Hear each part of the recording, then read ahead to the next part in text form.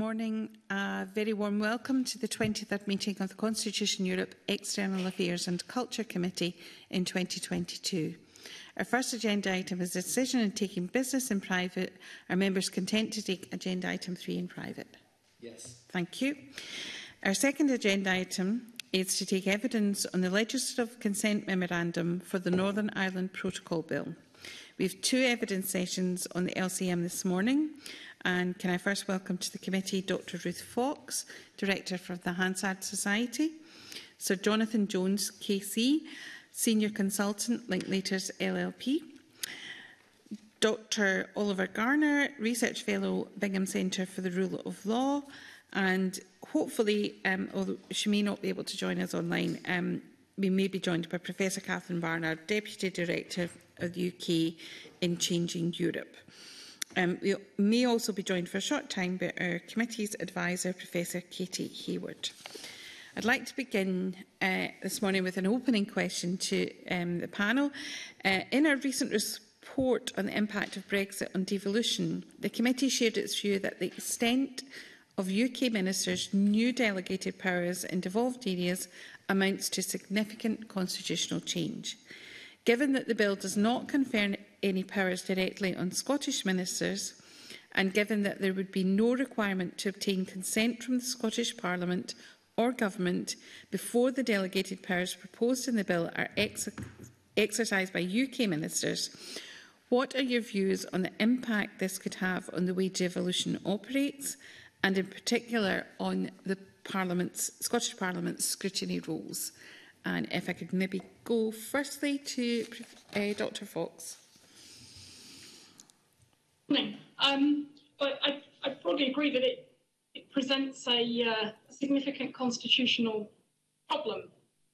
Um, the, the nature of the bill and the powers in it are so broad um, that it uh, grants obviously considerable powers to UK ministers across a broad range of areas in respect of the protocol. Um, and um, in addition to the question about um, ministers being able to, uh, to, to legislate in respect of areas of devolved competence, it also undermines the role of the Parliament um, because unlike in other bills that you'd expect, you'd, you, you, would, you would normally see provisions for the scrutiny of exercise of powers, um, and that those are not contained on the face of the bill in, in this case. Thank you. Um, uh, Sir Jonathan Jones, would you like to come in? Thank you. Yes, thank you very much. Well, I agree with that critique. Um, I, uh, in my view, the bill is a very bad piece of legislation, really for two fundamental reasons. I mean, the first, which I realise is not necessarily your focus at the moment, but it's just worth reflecting on uh, the widely held view, including by me, that the, the bill is a clear breach of the UK's international law obligations under the withdrawal agreement and the protocol. And uh, I and others are on record as saying that we find the government's explanation for the bill, that's to say that it's justified by reasons of necessity, by reason of a grave and imminent threat to the UK's essential interests, I find that completely unpersuasive. But there is a serious problem of the bill in terms of its incompatibility with international law. The second fundamental problem is, is the one you've touched on uh, and that Dr. Fox has mentioned, which is the nature of the powers which the bill confers on UK ministers, which are, are extremely wide. I mean, this is not a problem confined to this bill, and the Hansard Society, amongst others, is very much on this case. Tendency of the UK government to introduce legislation that confers very wide powers on ministers with limited opportunity, even for the UK Parliament, to scrutinise their exercise. But that's a serious problem. Um, uh, but this bill is uh, uh, is a very strong example of that.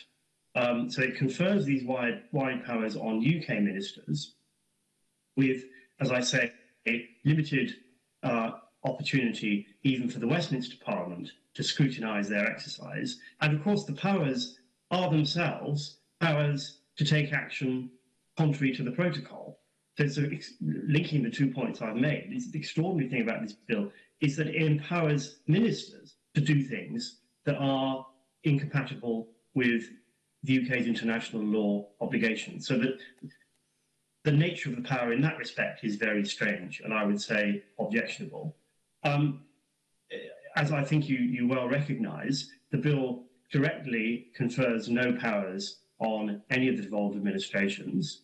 Um, it empowers UK ministers to do so. So again, we have this very strong um, layer of delegation or sub-delegation where UK ministers can decide in their discretion that some aspect of these powers are sub-delegated to, say, Scottish ministers.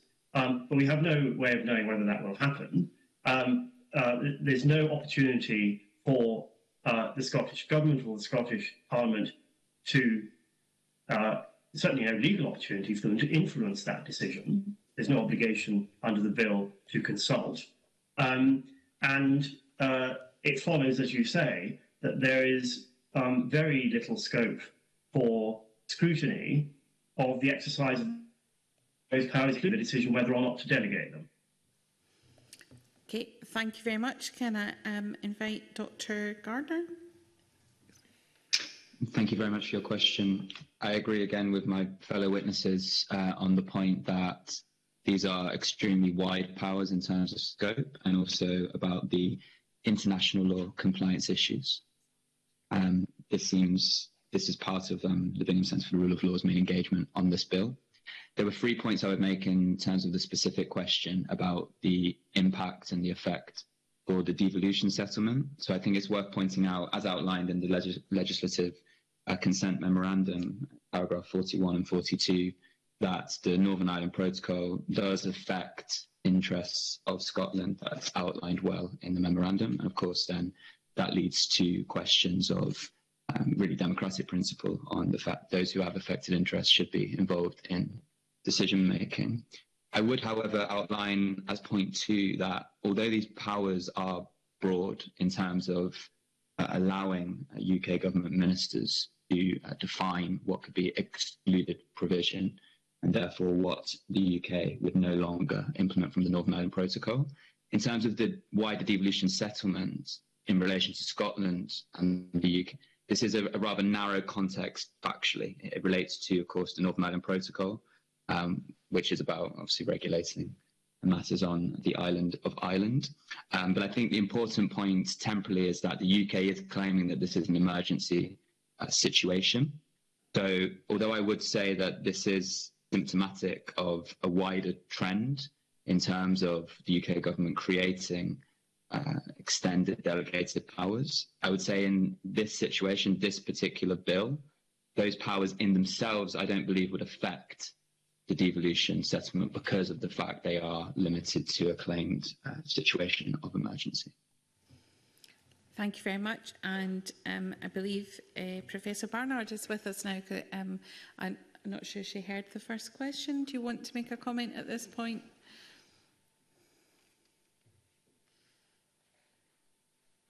I, uh,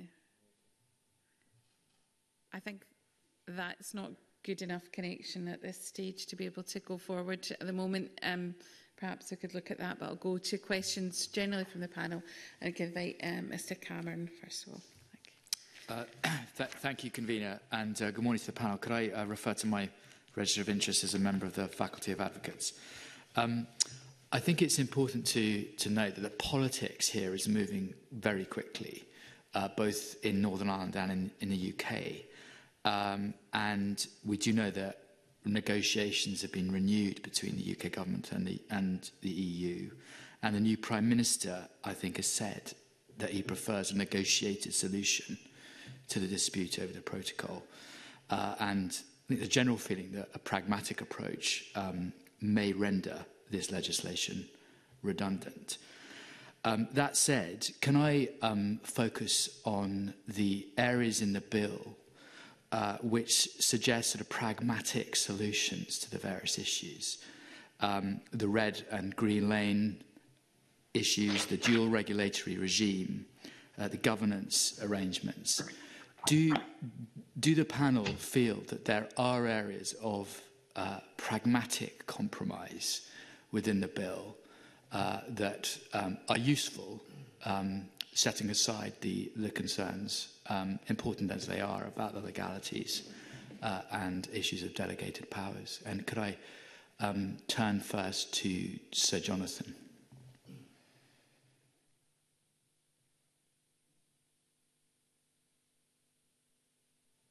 Thank you. Um, well, uh, I'm not a politician. It should be said I'm a lawyer uh, rather than a politician, although I've followed the politics uh, of this issue as you know reasonably closely as you can imagine.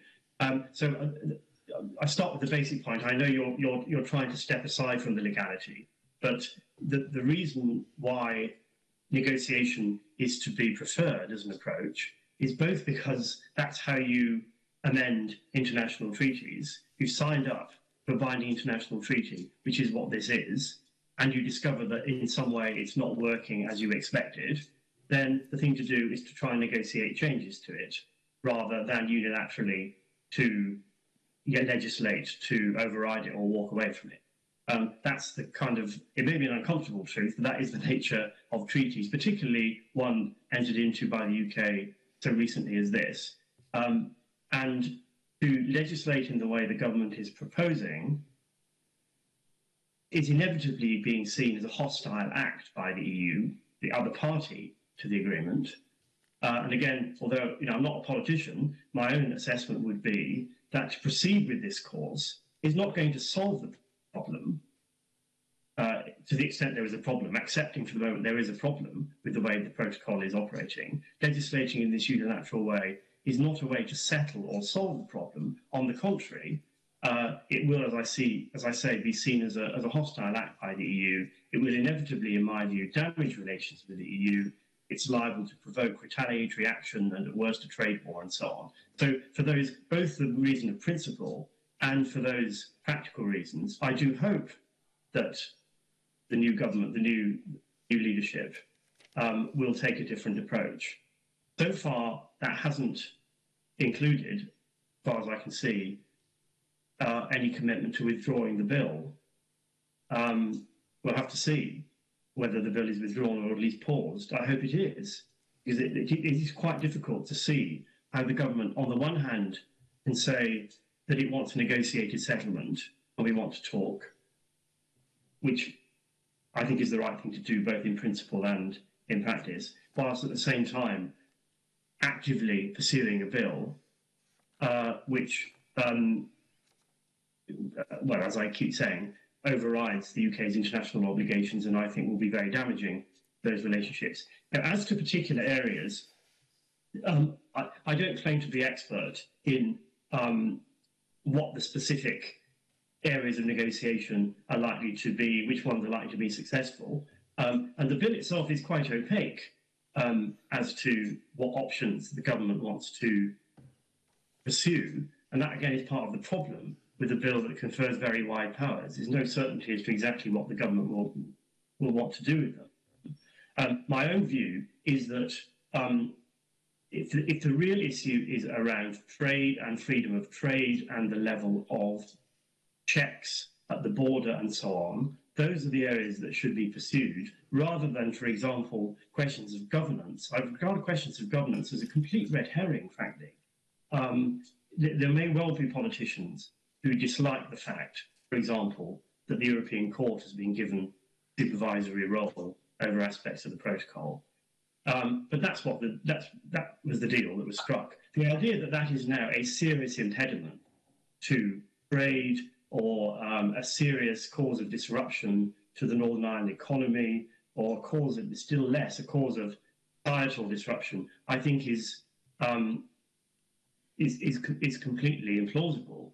So um, I wouldn't be pursuing those aspects at all uh, because I don't think they're really the source of the problem. The source of the problem, you know, is, is essentially the nature of trade, the flowing of trade, and the level of checks um, as between GB and Northern Ireland. And I suggest those are the areas that negotiations should focus on. Thank you. Could I turn to uh, Dr. Ruth Fox, please?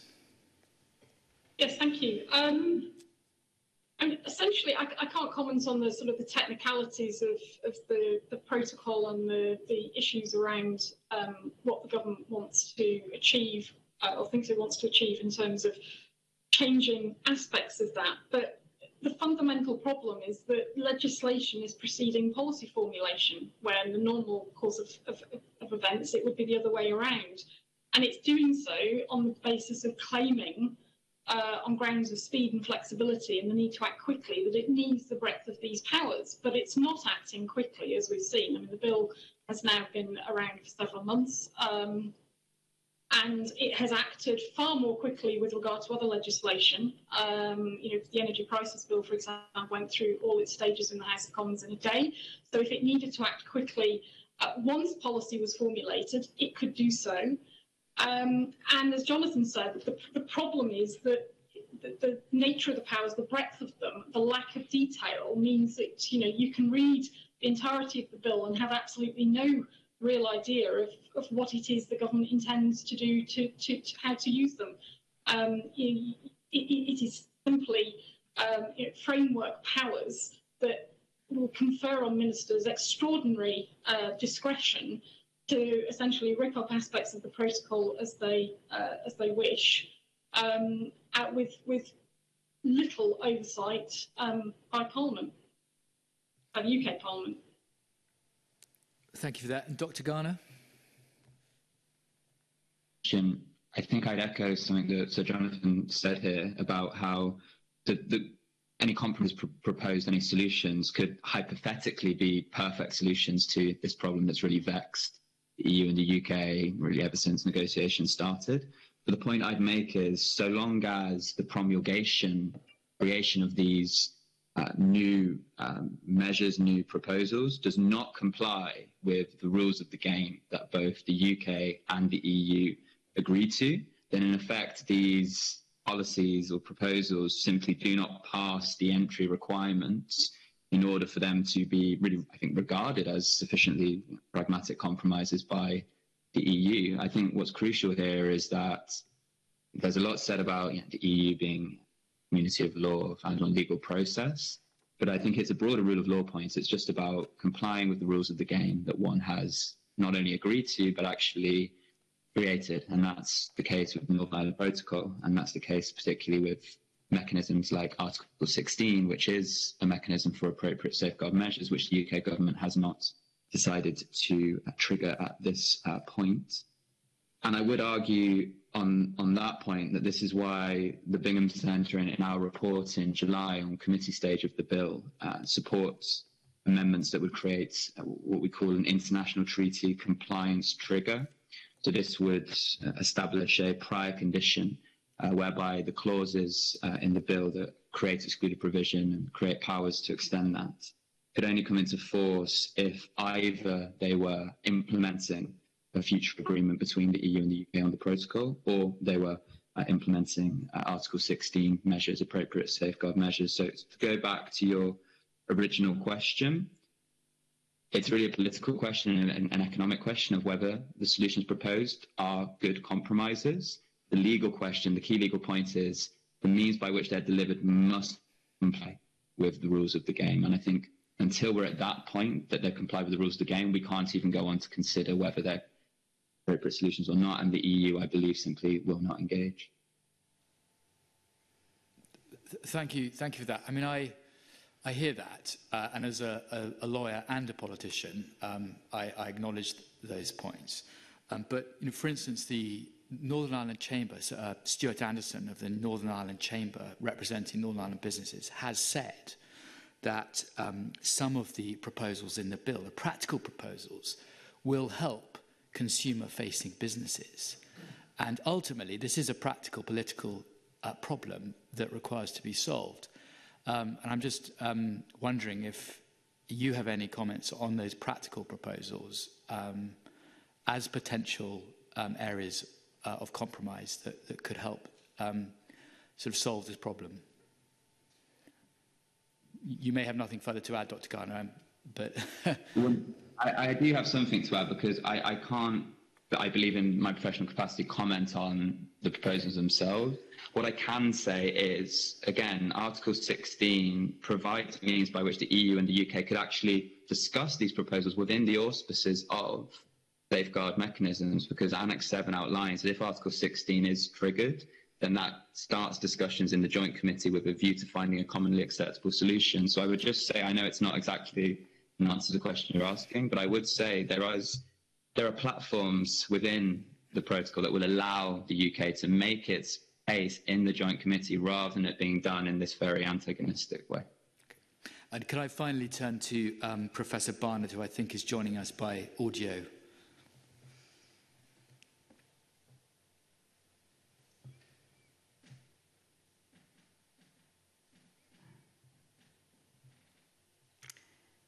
are you there?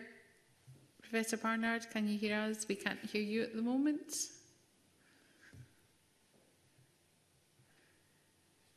Oh, that's unfortunate. I think we need to move on. Um, I've got supplementary. Can, can you hear me? We can hear you now, yes. Thanks. yeah, thank you. I'd, I, just like to make three points. Um, the first point is it's unlikely the government will pull the bill, not least because of regulation 9 or clause 19 of the bill, um, which enables them to implement any new agreement with the EU via a statutory instrument and not by an act of parliament. So they want to hang on to clause 19. In respect to the specific question about um, uh, what could be done to make this work better, the reality is what, what could really be done to make this work better is for the UK to sign up to um, a veterinary agreement with the EU and even better an SPS agreement. Now that looks unlikely at the moment, so we fall back on the red green lanes. Um, the EU is exploring that. The problem about the red green lane is that the big supermarkets will benefit from the green lane, but much smaller businesses will all have to go through the, the red lane. So that doesn't help that much with the consumer facing roles.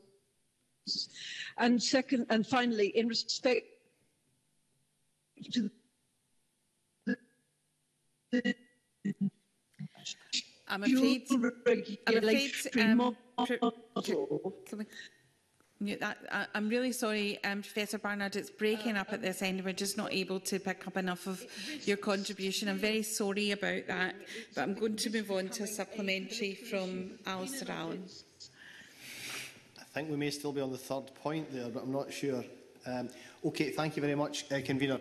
Um, I, I noticed um, that you, you referred there, Sir Jonathan, to I was going to say the excuse, let me put it more neutrally, that the, the reason that the UK government has, has given for um, proposing to, to breach international law, I think you said it, without putting words in your mouth, I think you said it, the, the, the cited the, the grave threat or the emergency situation or something like that. I mean, much as public life in the UK at the moment does feel like a, an ongoing emergency, I, I just wonder what the threshold is uh, in terms of precedent, if any, for such an extraordinary act as to propose to legislate to breach international law, uh, and whether you, you find the, the reasons on offer convincing?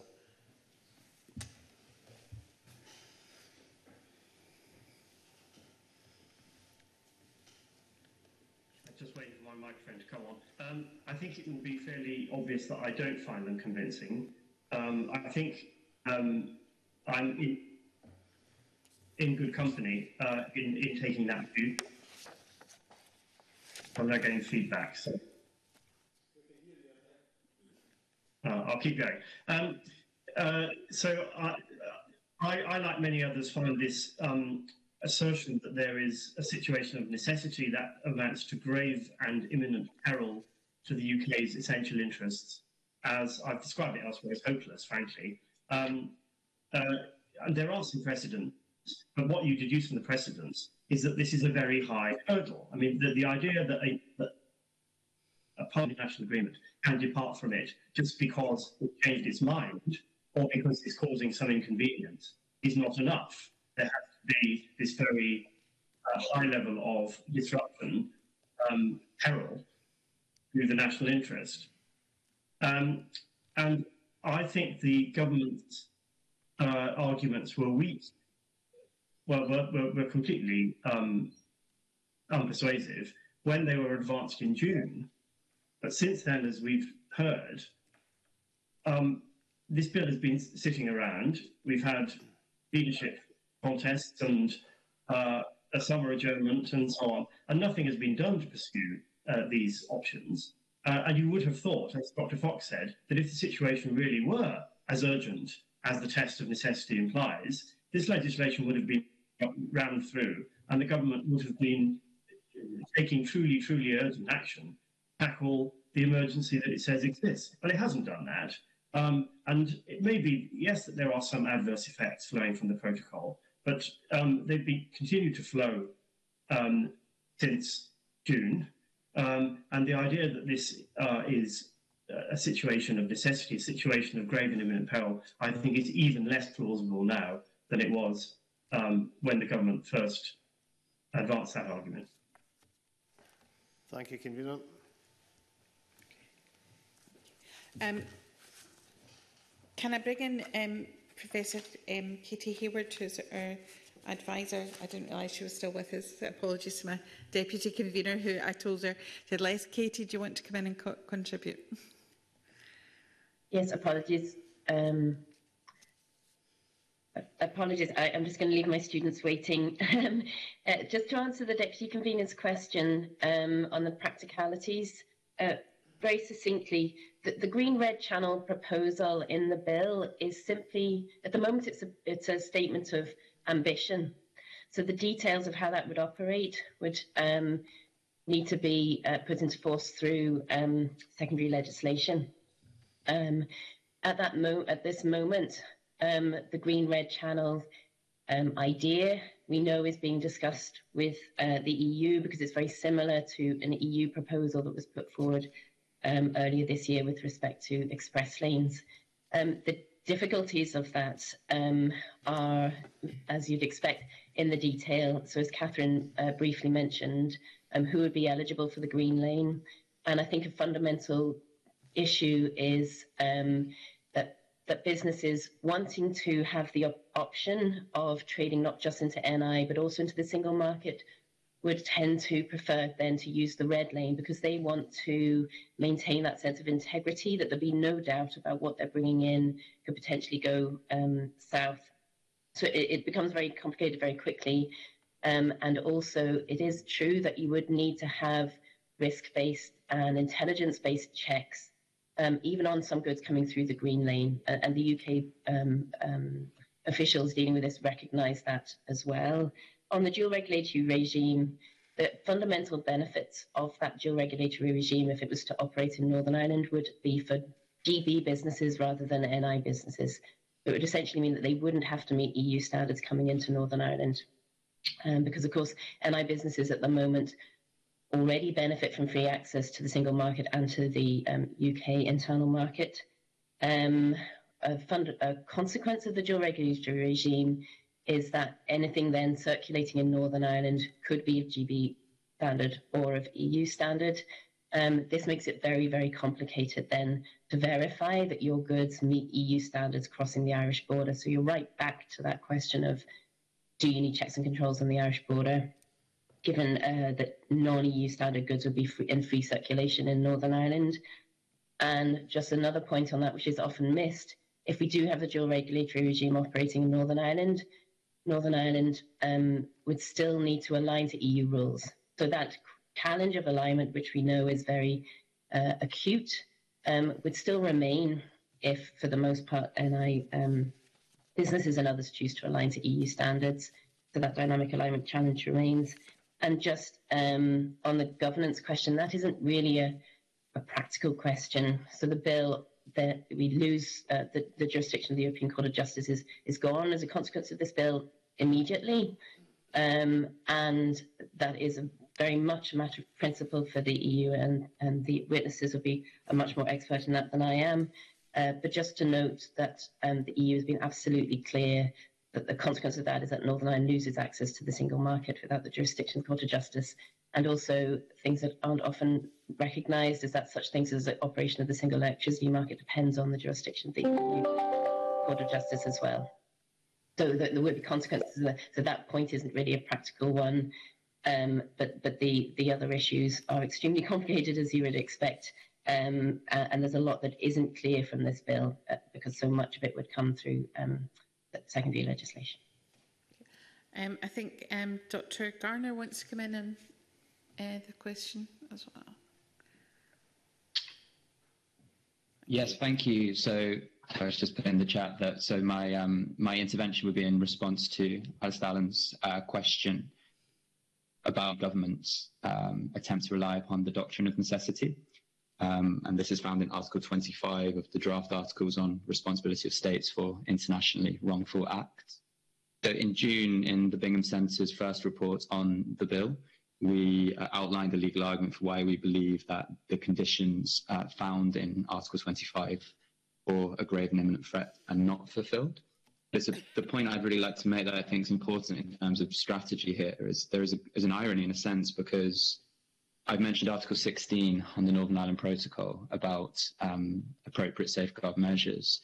Now, the conditions, I would argue, for adoption of measures under Article 16 could actually be regarded as a lower threshold than Article 25, um, because there's basically the creation of a permission to adopt these measures in the event of conditions being fulfilled of serious economic, societal, or environmental difficulties that are liable to persist, or an alternative condition of diversion of trade now, you mentioned in your question about precedents. Of course, this is unprecedented because there has never been, um, well, there was a partial attempt to trigger Article 16 around the time of the coronavirus pandemic by the European Commission, but that was reversed. But I think the point I'd want to make is that these conditions are far more appropriate to this situation that the UK is claiming in terms of emergency, in terms of difficulties. This is a tailored condition within what's the lex specialis of Article 16. So really, legally, I would argue it was more appropriate to try and rely upon 16. But even in terms of political strategy or negotiating strategy, I think it would be easier for the UK to make the case, or the UK government, I should say, to make the case that those Article 16 conditions are fulfilled rather than these very strict uh, high threshold conditions on necessity in Article 25 of the draft articles on uh, instantly wrongful conduct. Thank you. Um, Ms Boyack, please. Thank you very much, Convener. Um, uh, my question has changed slightly from having read the paperwork in advance and then listening to the questions and answers, um, and partly triggered by our Deputy Convener talking about the need for pragmatism. My concerns about this legislation is about um, accountability through this legislation in terms of knowing what we're voting for, given the huge powers it gives to the government, both um, at a UK and a Scottish level, and, and the difficulty for us working out what they might be and testing that. Um, my initial question was going to be about uncertainty um, and damage to relations with the EU. But on one level, the fact that things have changed since this piece of legislation was introduced makes it even harder because the uncertainty is greater because it feels to me like we don't actually know what we're voting for. And in terms of parliamentary precedent, given the huge scope of this legislation, is this something that as parliamentarians we should actually be supporting, given it we're, we're being asked to vote for something before we know what the negotiations are? Um, we don't know the context of what's going to be in the negotiations, and we're effectively asked to support a bill that could be anything without us being able to actually scrutinise it. And um, the precedent for that, both at a UK and Scottish level, I would be interested in feedback from the panel on. Um, and maybe if I could start with um, a Jonathan Jones, if you would like to come in on that precedent and uncertainty issue. And, you know, is this bad legislation in terms of accountability? Well, I think it is. I think you summarised the point very well. Um, the, the, the point about the uncertainty is exactly the one we've already touched on, that the scope of the powers is, is so wide, one can have no certainty about how or whether or when they will be exercised, and therefore what the legal effect will be at the end of this process. Although, as we said, we know the, the intention is to do things that um, override or contradict the protocol, and that's a problem in itself. But we don't know which things. Um, so that is a problem. Uh, it's a problem in terms of scrutiny that parliamentarians are not being given an opportunity to properly to scrutinise the policy, the actual decisions that are made. And as I said, that's true both of the Westminster Parliament and even more so of the devolved Parliament. Um, and therefore, in terms of accountability, which you touch on, um, how can parliamentarians be accountable for decisions and actions over which they've had no opportunity to comment at all in any meaningful way? Um, does it set a precedent? Well, unfortunately, there are, are already other precedents. We've seen, um, in certainly in the last few years, obviously there are plenty of examples of, of governments um, taking powers in legislation to make secondary legislation, and sometimes those are very wide, and sometimes they're criticised. Uh, sometimes, for example, they include powers to amend primary legislation, so-called Henry VIII powers, and there's been plenty of comment about that over the years. I think the problem has got worse in recent years, um, partly because of COVID. Uh, we may not want to go down that alley, but for all sorts of reasons, some good, not so good. COVID pandemic saw the government taking and exercising very, very wide powers with very little scrutiny. Uh, another current example, uh, which I know Dr. Fox is very focused on, among others, is the so-called Brexit Freedoms Bill, the EU Retained Law Bill, currently before the Westminster Parliament.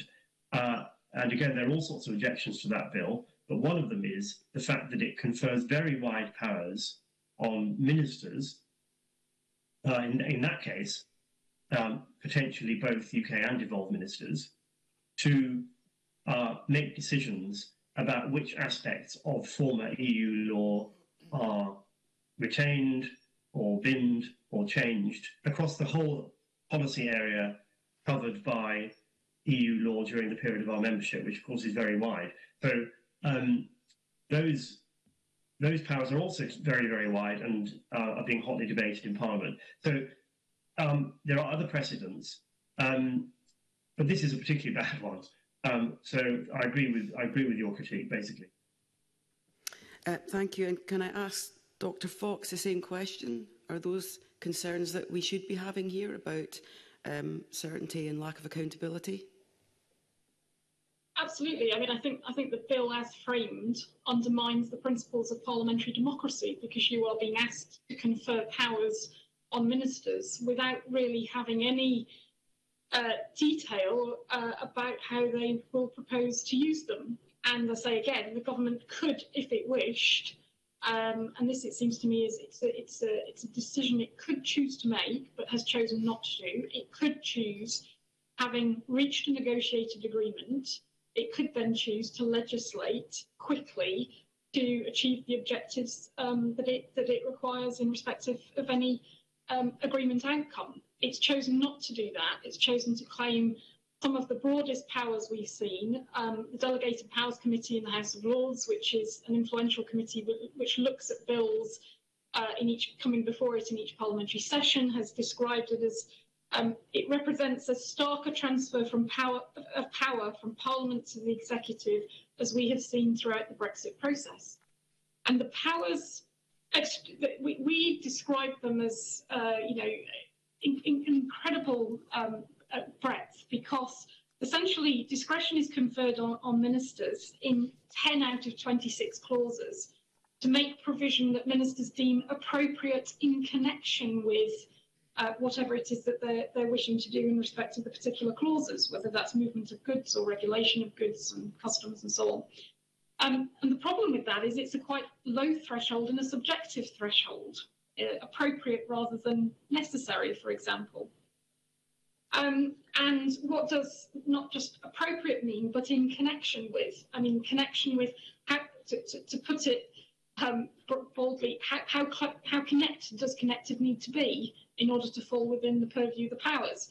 Um, you know, it could be a fairly tenuous connection because the, the drafting would permit a, a fairly tenuous um, connection. And then the third element is that the scrutiny procedure, uh, the, the process that the government proposes uh, be adopted in relation to the to the powers, is what they call rather oddly a dual procedure. And effectively, they're talking about the uh, application of the negative and affirmative procedure to, to all the powers, and what they propose is that all the powers should be subject to the negative procedure, so that that, that is not doesn't require active parliamentary approval. It would require a member of parliament at Westminster to object to to the, the statutory instrument um, and to win a vote to prevent its its, continuing in law, um, unless the power uh, is amends a, an act of parliament or um, is makes retrospective provision. Now that's quite a narrow interpretation of what active parliamentary approval should cover. I mean, the affirmative procedure should certainly cover those areas, but it, it normally would cover a much broader area uh, of, of, of, what, what, it is that the government is trying to do with its regulations.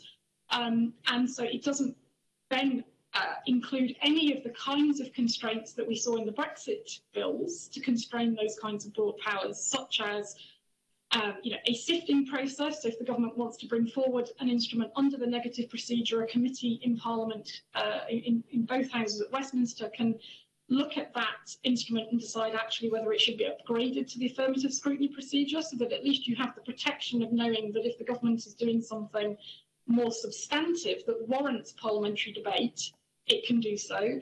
There's no sort of pre-laying consultation. There's no requirements uh, on, uh, you know, reporting. Um, it, it is just a blanket. You know, it will be the negative procedure unless under those two conditions I've outlined, uh, the regulation falls under one of those headings. And then there's the extraordinary clause, um, the clause 22, which in effect turns all the regulation making powers in the bill potentially to um, Henry VIII provisions uh, which is pretty extraordinary, um, and would in effect function in such a way that, that the powers would enable ministers to amend, repeal, or otherwise alter the effects of, of um, acts of parliament by regulations, including this bill once it has achieved royal assent.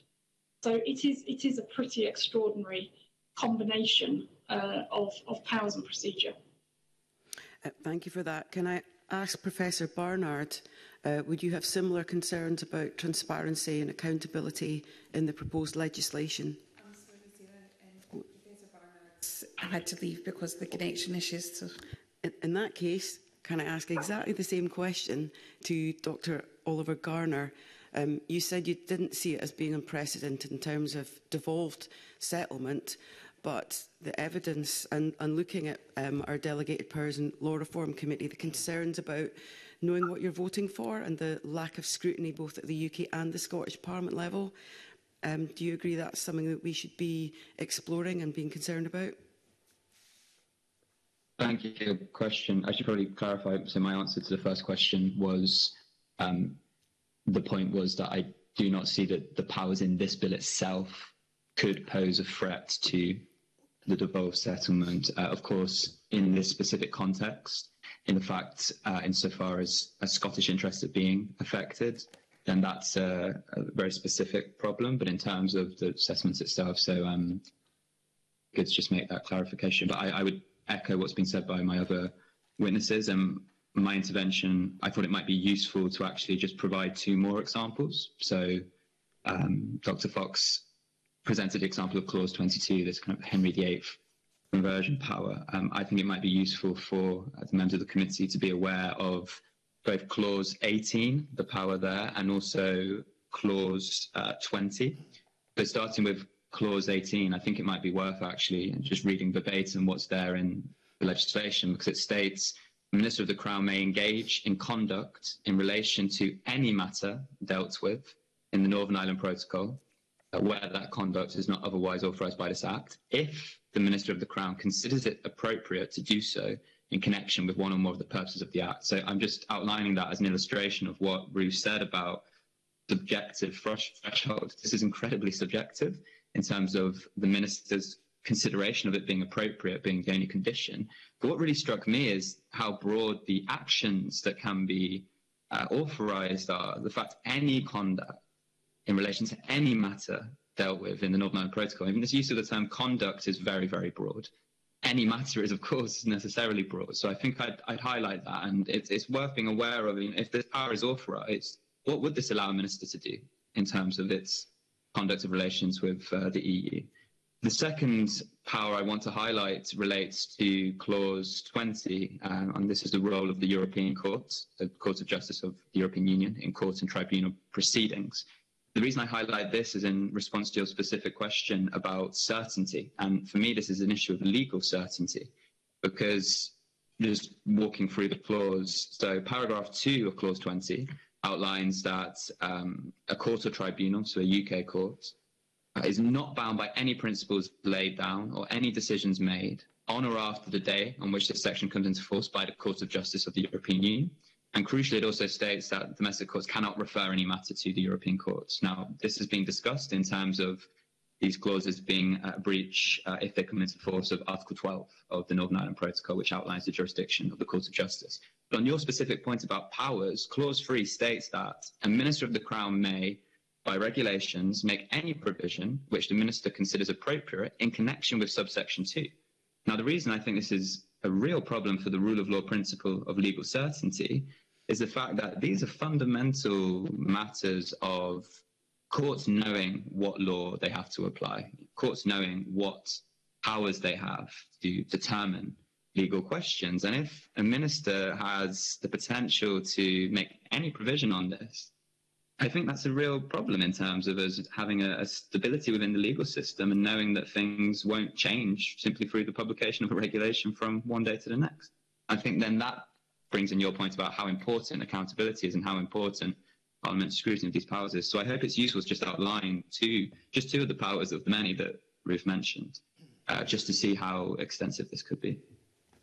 That's been really helpful. Can I thank the witnesses? The concern about any conduct or any provision um, and our capacity to interrogate that, I think comes across very clearly. Can I thank all the witnesses for their answers to my questions? Over to you, Camilla. Thank you, Ms Boyack. Can I bring in Mr Ruskell, please, who's joining us online? Yeah, thanks. Um, can I ask about the implications of a breach of international law? I mean, it's already been mentioned about worsening relations with the EU, potentially a trade law, a trade war. Um, what, what other what other implications could could there be? Um, if I go back to Jonathan Jones for that one, please. So um, the the main legal risks are one proceedings by the EU under the withdrawal agreement, um, and such proceedings have already been commenced uh, before. Um, now, it remains to be seen whether the UK, if, if, if relations have broken down as badly as that, the UK would even seriously engage in those proceedings. Because if the UK has sought to unilaterally to alter the governance arrangements, including the dispute resolution and the role of the European Court, you're in a kind of really Alice in Wonderland world where the UK is saying, we're deciding what the rules of the game are, and we're also deciding what the remedies are and what the procedure is when the rules are broken. Um, uh, I'm quite convinced the EU will not have any of that, um, and therefore the risk is that it brings um, it brings proceedings, and then goodness knows what would happen to those with the UK engaged with them, or would it simply say no, we've changed the rules and we don't even, as it were, don't recognise the legitimacy of the procedure. So you're in a kind of um, legal mess at that point. The, the other um, channel which the EU um, might very well pursue is that of retaliatory action, um, uh, up to and including a trade war, and that might take all sorts of forms. It has to be proportionate. Um, but again, since we don't know um, what action the UK government might be taking under the protocol, uh, under, under the bill, it can't, it can't be clear what what the level of um, retaliation might be. But that would be the, the other practical effect that the EU might legitimately take um, in response to what it would see undoubtedly as a breach by the UK. So those are the legal routes. All of, it all adds up, of course, to a massive um, worsening of relations in in practice between, including trading relations between the UK and the EU, which is why I said earlier that um, however neat a solution the UK government might come up to, one that might satisfy the different, um, difficult though this would be, satisfying the different interests and um, constituencies in Northern Ireland, um, that's hard enough. But the UK government can come up with a solution that it thinks satisfies um, the UK's, including Northern Ireland's interests. But if it doesn't comply with the agreement and it has the effect of triggering this kind of reaction by the EU, then it's not a solution. Um, it doesn't. It's not an end stage. It doesn't settle anything. All it does is provoke a legal and trade war or a standoff or, or worsening relations. So I think you've got that combination of legal and diplomatic and trading um, consequences, um, and I can't see how any of it ends well. Mm-hmm. mm-hmm. Thanks. Uh, I see Dr. Garner would like to come in on this as well. Thank you very much. Um, I think this is a question that's something that EU lawyers and UK constitutional lawyers are really aware of the potential for how, as Sir Jonathan was saying, how legally messy this could become.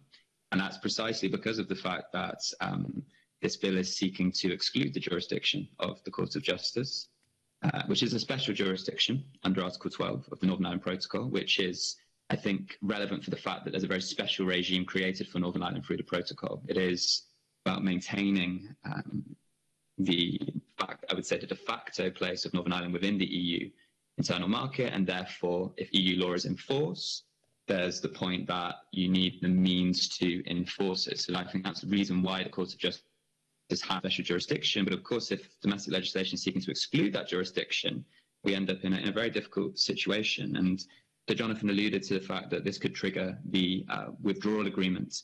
Generally, you call it the general dispute resolution procedure. So, in case this is of interest, this is under I think Articles 167 to 181 of the withdrawal uh, agreement. But as Sir Jonathan said, we have a, a real question mark, which is, of course, a major issue for the rule of law about whether the UK government would engage in good faith if such uh, dispute resolution procedures were brought by the European Union. And then I would say that this is, I have to be careful because we are in the realms of speculation or at least looking a long way down the road. But I could imagine that one potential outcome is you have a situation where the European Union could seek to bring proceedings against the United Kingdom before international tribunals in terms of compliance with international treaty law. And then that is something that would really be very unprecedented. And even one could argue it even challenges the self perception of the European Union's legal order as an autonomous legal order. Um, I'd make one final point that, at the risk of being slightly theoretical, but um, H. L. A. Hart wrote The Concept of Law. It was a very influential book on the theory of law and how legal systems operate, in his opinion. He was a scholar at the University of Oxford. And one of the key secondary rules that allows a legal system to operate is rules of adjudication. And that's about knowing. So individuals know that if there is a dispute over the rules, they know which body has the authority to resolve those disputes. We have that throughout society. We have referees in football matches. I think the real rule of law problem is that the um, way in which the UK government is seeking to exclude jurisdiction is creating uncertainty over who has the authority to resolve disputes. And so that is a real problem for legal stability and legal certainty. Thanks very much. Um, I don't know if Dr. Fox would like to come in on this. From the parliamentary angle, um, you know, it, it, it, has been a long-standing convention that if a, if a government wants to make uh, an international agreement that changes UK law, that would be done by statute, by an act of parliament. Now, this bill is a vehicle to get there, but to, to enable ministers to do it by regulations. Um, and it seems to me that you know we will be undermining our our, understanding of, of being a parliamentary democracy if ministers can take that approach and you know contentious policy issues with all the kinds of implications international in terms of our reputation diplomatic political economic that um, the other two panelists have spoken about that should be a matter put to parliament in primary legislation to be debated and assented to or not Mm. Um, see that Jonathan Jones wants to come in um, briefly. I also had another question, which is about international precedent here. Um, I mean, it feels like we're in quite a unique situation here, but are there, are there, have there been other administrations around the world who've sought a similar level of executive power um, over their parliaments in, in recent years? Um, Jonathan Jones, can I bring you back in, please? Yes. Um, so the, the point I, I, I, may let others talk about precedent. I mean, I, I'm not aware of any comparable precedent. I'm not really aware of a precedent in the UK of this combination of, uh, I would say, flagrant breach of international law, coupled with this very wide powers of ministers to decide what they want to do about it. Um, the, the, the, other point I was going to make, which maybe is, is a bit obvious, but um, first of all, the UK signed up to this deal not very long ago, and it included, for example, the adjudication provisions we've been talking about, including the role of the European Court. Um, and I, I agree, it's, it, it's sort of obvious why the EU would insist that the court has a role in the interests of its own legal order and given the application of various EU rules to aspects of the withdrawal agreement. Um, but the UK agreed to that. And secondly, um, all of this was embodied in an act of the UK Parliament in the EU Withdrawal Agreement Act. So, uh, with, uh, I mean, in truth, limited time for scrutiny at that point. But nonetheless, Parliament was given the opportunity to look at this deal, did so, and said it was to have effect in UK law. And um, so Parliament you know, to that extent, has had a go at looking at this agreement and has accepted that it should be um, ratified and that it should be uh, given effect to in domestic law. So um, this is what this is what this bill is operating on. It's operating on uh, a settled international law agreement which Parliament has endorsed um, and which, of course, at the time was uh, expressed to be a great deal um, not so very long ago. Uh, so I think this is it is pretty difficult to point to a, a precedent um, quite as flagrant as this, I would say. Yeah. Um, did Dr. Oliver or uh, Dr. Fox wish to come in on this point? Yeah, Dr. Oliver.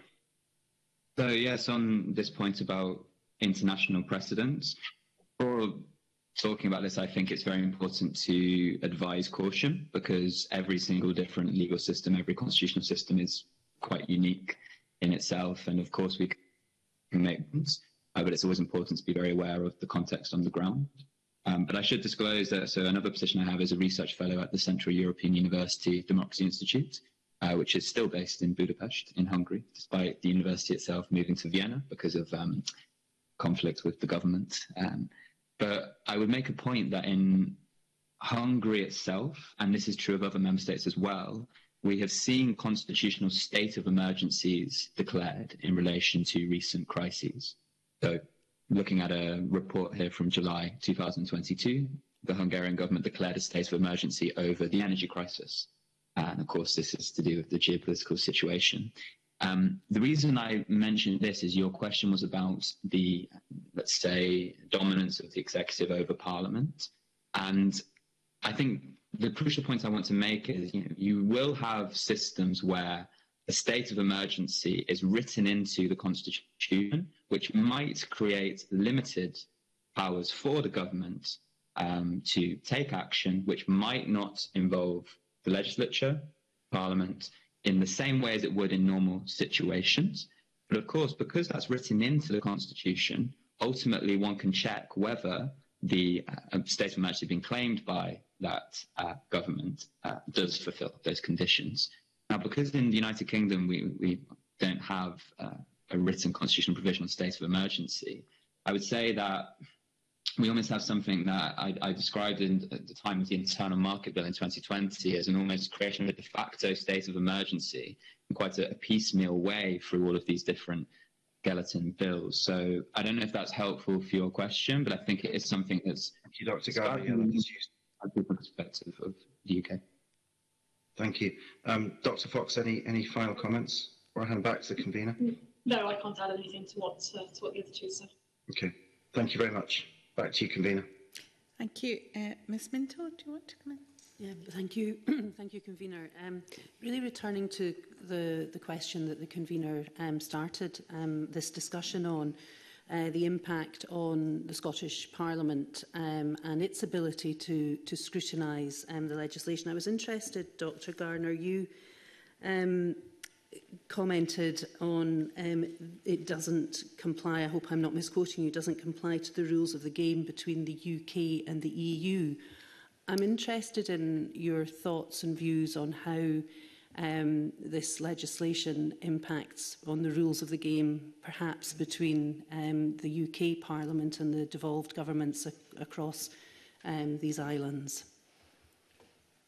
Well, thank you very much for your question. I think I should probably clarify that my claim that this bill with the rules of the game that the UK not only agreed to with the EU but helped to create is a very narrowly defined claim in relation to emergency situations under the Northern Ireland Protocol. Or I should say, actually, there are two points to be made. The first is, of course, if one agrees to something in an international agreement and then decides to go to their domestic law and say, well, actually, we we don't think we should be doing this. We want to create domestic law in order to no longer implement these obligations. That, in a sense, is not playing by the rules of the game, and one needs the justification for why one is doing that.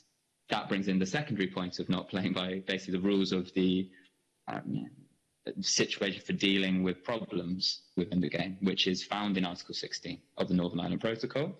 And again, the UK government decided not to engage. So that was about my claim about playing by the rules of the game. Uh, when it comes to the, the, rules of the game that have been established in uh, devolution legislation, I should clarify that I, am not an expert in this matter. My expertise is in European Union law and uh, UK public law insofar as it relates to European Union law, but um, from what I've seen other scholars writing about, there definitely seems to be a situation in which one could say, now this is important because it's the difference between rules and conventions. of course, the conventions that have arisen, the conventions that are enshrined in legislation, as we saw discussed in the first Miller case, do seem, there does seem to be a movement away from that. And of course, that will have an impact for those who are affected, as, as you are, as members of the Scottish Parliament. Thank you. Yes, we've had um, uh, long debates over um, the meaning of conventions uh, in, in this committee. Um, I was also struck by Dr Fox, Fox's comments about um, parliamentary scrutiny, and I appreciate that you're looking at it from a, a Westminster perspective, but I'd be interested if there's any comments that you can make um, that looking specifically at um, how the, the, at the Scottish Parliament, as MSPs sitting here, will have an opportunity to scrutinise um, this legislation and thinking about timings um, and recognising the different um, procedures within both parliaments and uh, like my colleague Sarah Boyack um, highlighting the, the letter from our um, designated powers and law reform uh, committee that specifically looked at and questioned um, the UK government about this. Yeah, I mean, Jonathan referenced this sort of earlier that we're seeing um, in this bill um, something that we're seeing coming through in other bills. I mean, I was talking about this just a few days ago in the context of the retained EU law bill. The, the, the, the problem in which the legislation at Westminster um, coming from the government is silent about what should happen when UK ministers um, intend to, to legislate by statutory instrument in areas of devolved competence, and the lack of clarity about um, not just consent, but even the lower threshold of consultation. Um, and I think I think this bill um, arguably goes slightly further as well, because in effect, what is proposed um, is legislative subdelegation, um, and um, in effect, granting power to be exercised by the devolved government would be via a subdelegated power, in effect, to make tertiary legislation.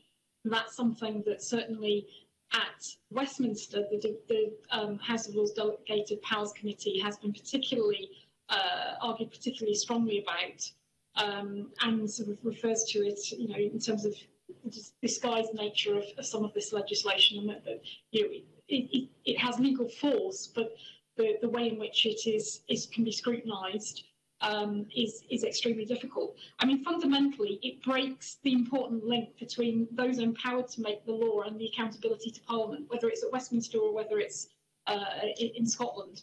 Um, and uh, problem, as I referred earlier, with the specifics of this bill is it doesn't set out on the face of the bill, even if uh, where, where, it is Scottish ministers that are going to make statutory instruments, it doesn't specify what scrutiny procedures would be in respect to the Scottish Parliament which is normally what uh, we, we, we would see.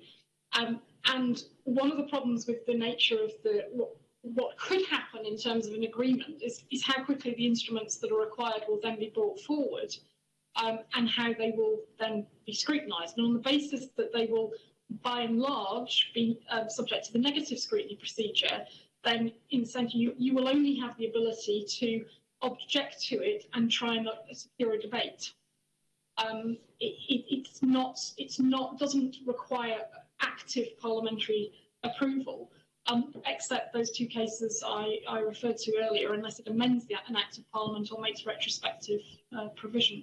So overall, it's it's just utterly inadequate, albeit knowing that even if it had the higher levels of scrutiny, um, the procedures for those in both Westminster and I think in, in, in Edinburgh as well are, are not uh, are, not, are not as good as they, they could and should be to ensure that you can do the kind of oversight that you need to do for your constituents.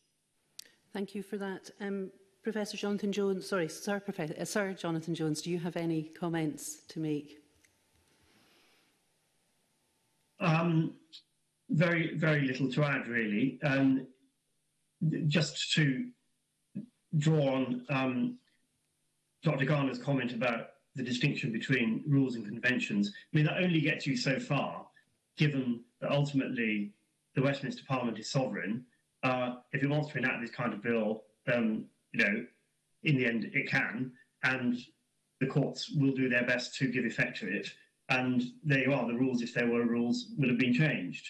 Um, but uh, the, the, in substance, I think um, this does transgress in all the ways we've talked about, both, and I started by saying, obviously it transgresses international law. I think it also transgresses what you would normally regard as acceptable levels of scrutiny, legal certainty, and accountability. So whether you regard that as breaking the rules or not, um, I, I, I, definitely think it's a problem. Okay, thank you. Thank you, Convener. Thank you. Dr Allan. I'm very conscious of time just before you come in things short. I'll try and keep it um, brief. Uh, for the remainder of the session, that would be very helpful. Thank you. Okay, I'll, I'll keep it uh, a brief uh, couple of questions in that case. Um, um, I wonder if I, I can ask specifically, I know we're turning to a theme here, but specifically about the relation between UK ministers and this Parliament um, that could emerge or will emerge from, from this um, bill.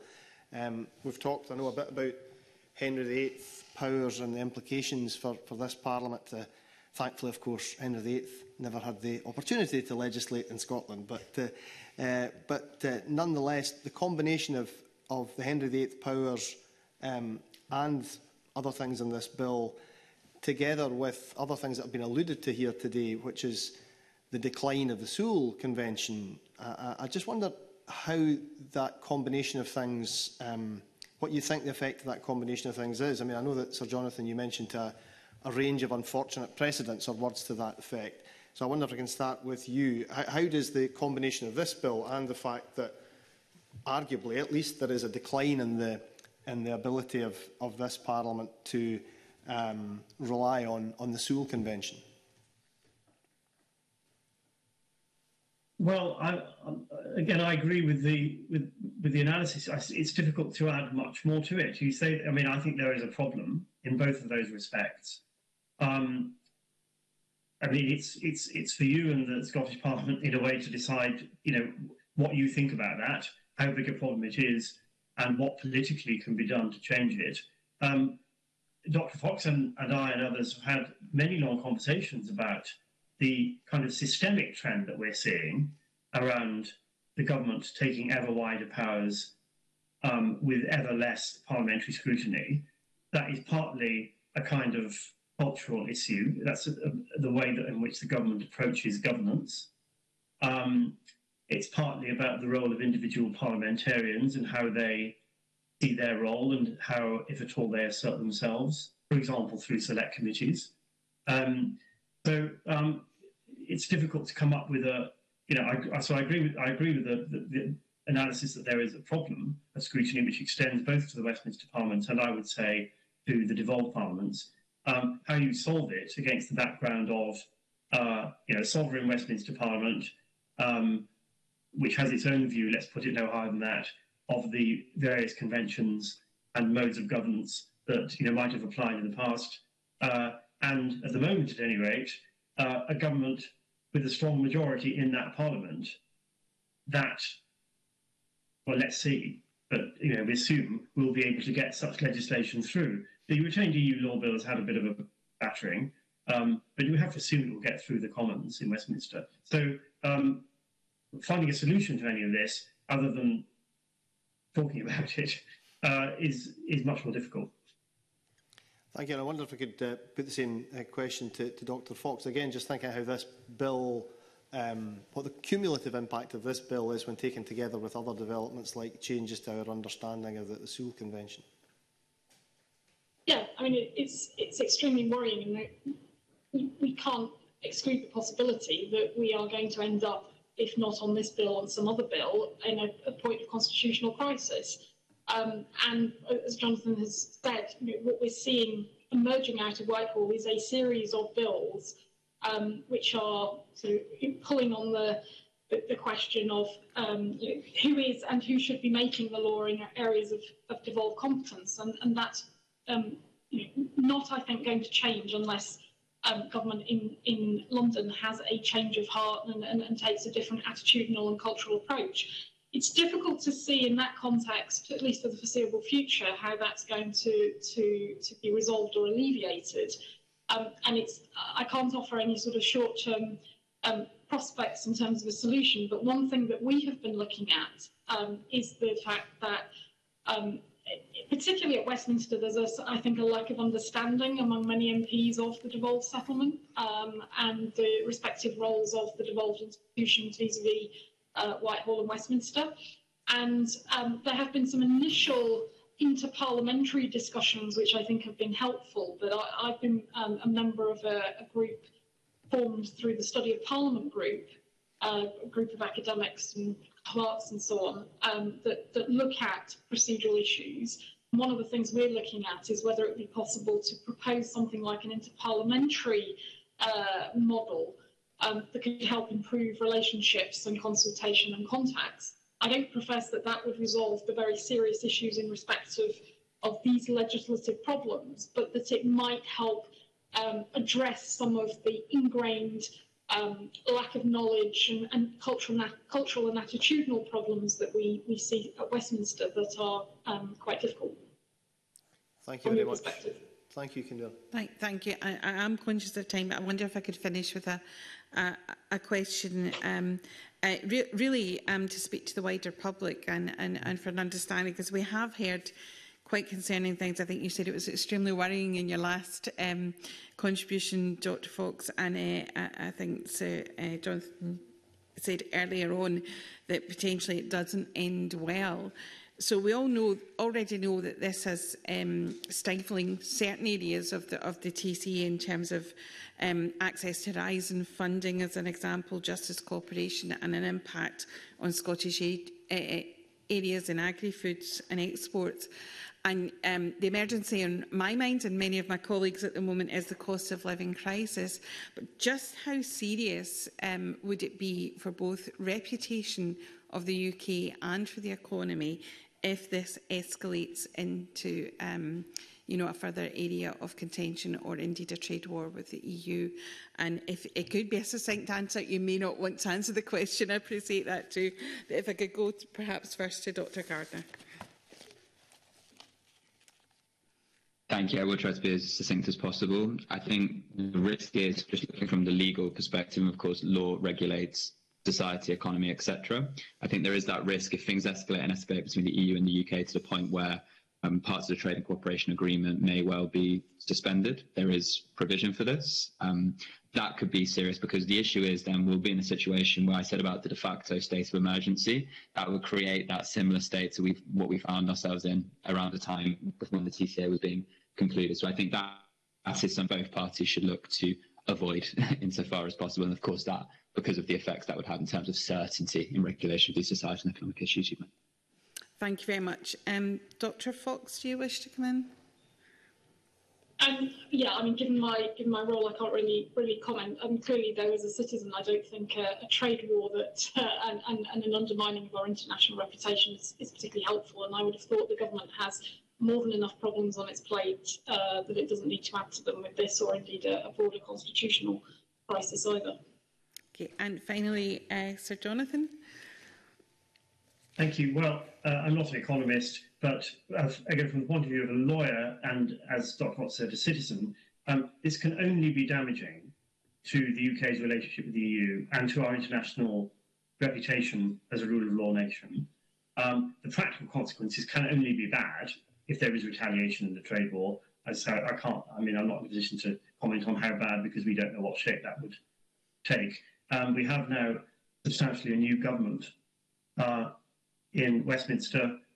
Um, I hope that some of the more positive conciliatory signs um, turn out to be to be true, uh, and that we get more into uh, negotiation than the confrontation which this bill represents.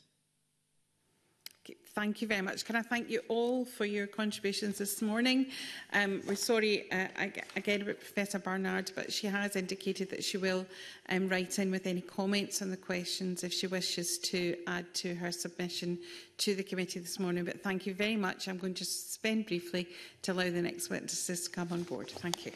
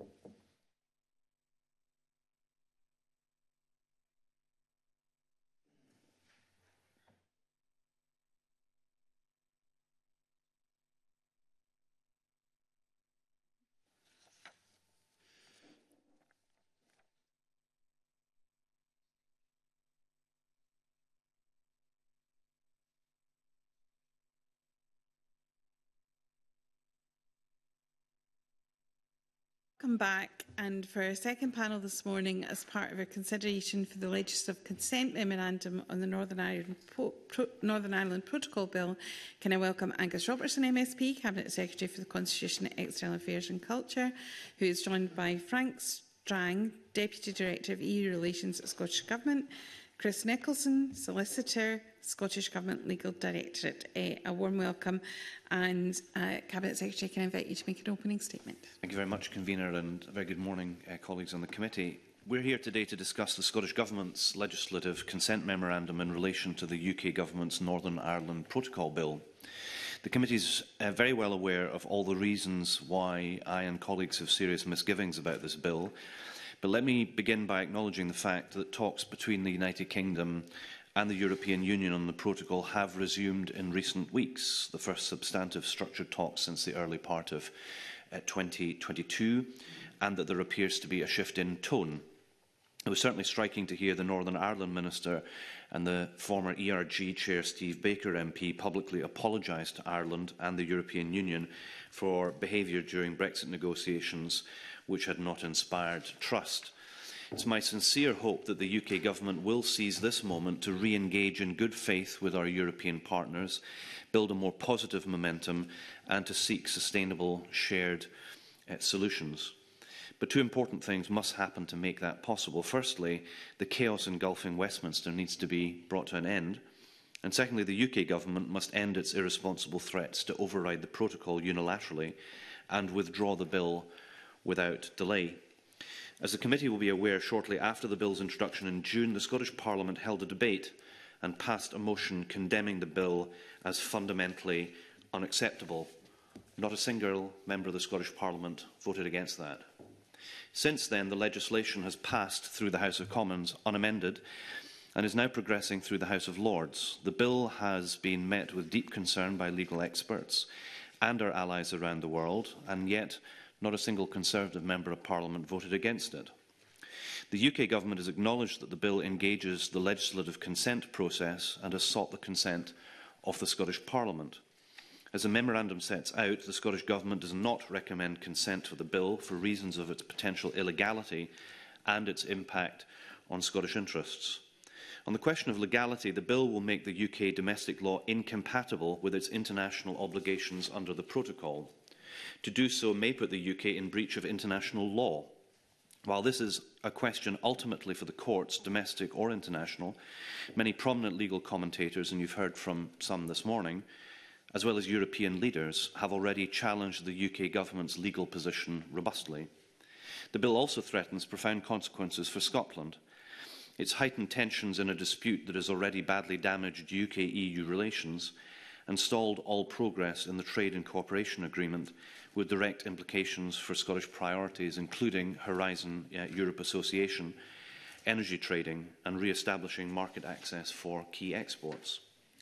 As the memorandum sets out, if this bill becomes law, the consequences of the escalation could be economically disastrous for people in Scotland.